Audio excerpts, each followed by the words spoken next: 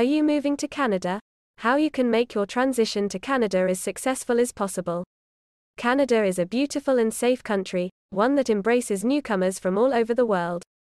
While relocating to a new country can be very exciting, there is also a lot to do in preparation and once you arrive. To make the transition as smooth as possible, watch this video till the end and yes like and share the video and don't forget to subscribe to our channel. Warm welcome from Brain Drain Consultants to our immigration information and news channel, A2Z Immigration Updates. First you have to prepare to work in Canada. To start your job search, you can register with the Government of Canada Job Bank. You can use the Job Bank to build your resume, search for a position and browse career planning tools. Looking for opportunities to network with people in your field of interest can also be a good way to meet people in your industry and find a new job. If you haven't yet, set up a LinkedIn profile to connect with other people in your field. Second is finding a place to live.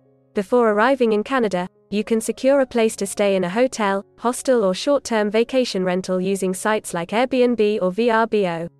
When you've had time to explore your new surroundings and you're ready to rent or buy a home of your own, you can reach out to a real estate agent for professional advice or search on your own online. You can use websites and apps like Realtor.ca or Zillow to find a property. Third one is to open a bank account. While it is possible to set up an international bank account before coming to Canada, you will still need to open a checking account for everyday banking once you arrive. Luckily, the process of opening a bank account in Canada is easy and convenient, and Canadian banks are reliable and secure.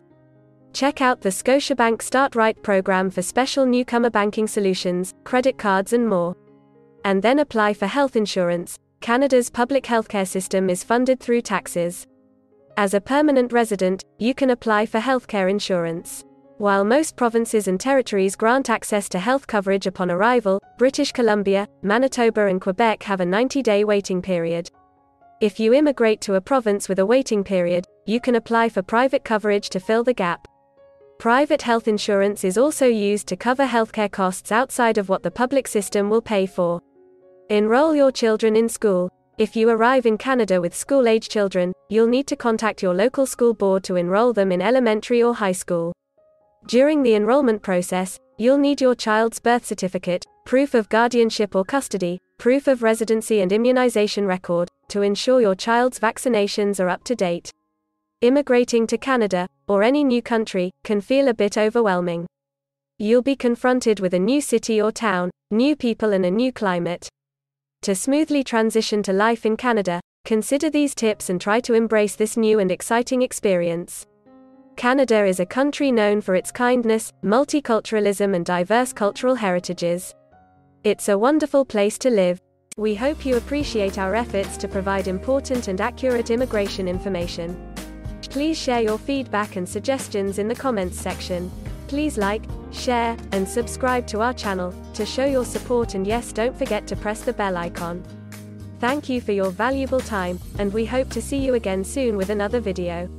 If you need any further assistance or want to discuss anything related to your immigration dreams, then you can book an expert consultation session with our team of registered migration consultants.